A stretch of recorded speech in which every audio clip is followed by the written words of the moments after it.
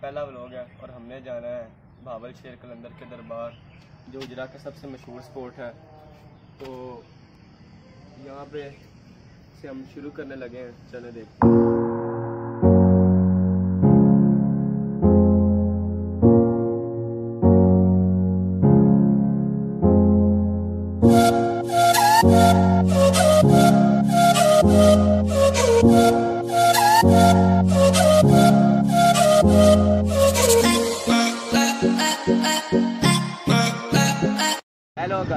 جیسا کہ آپ جانتے ہیں کہ ہم نے آگے جانا ہے کلندر پاک کے دربار کی طرف اس وقت ہم گجراتی مین چوک پہ پہنچ چکے ہیں ادھر جیسے بہت زیادہ رش نظر آ رہا ہے چلیں دیکھتے ہیں اب آگے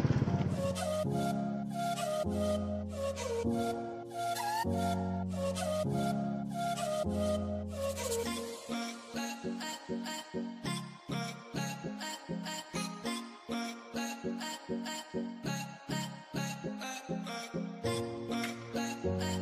ہم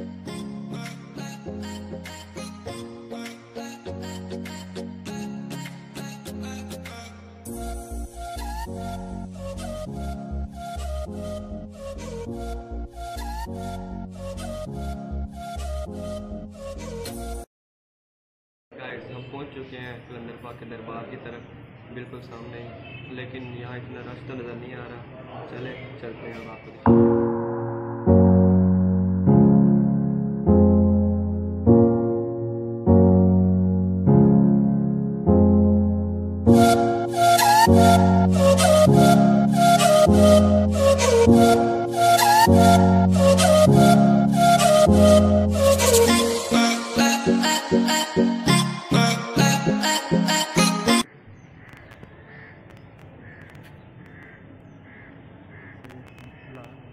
گائز یہی ہے کلندر پاک کا دربار گجرا کی سب سے مشہور جگہ۔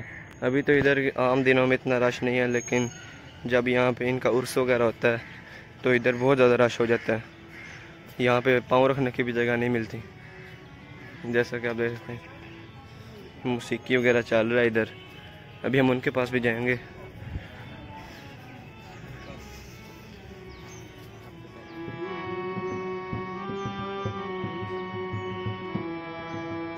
说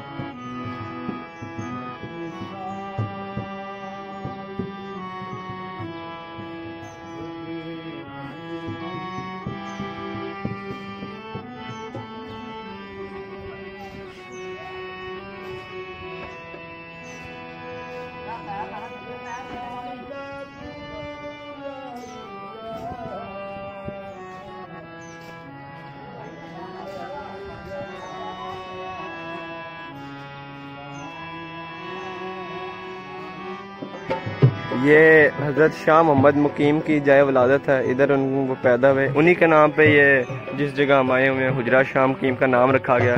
یعنی حجرہ مطلب گھر اور شاہ مقیم جو پیر ادھر تھے۔ یہ جیسا کہ آپ دیکھ سکتے ہیں، یہ سب ادھر نذرانہ دیا جاتا ہے۔